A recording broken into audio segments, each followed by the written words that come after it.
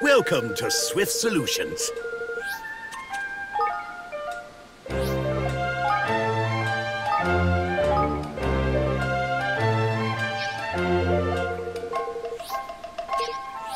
Oh, by the way,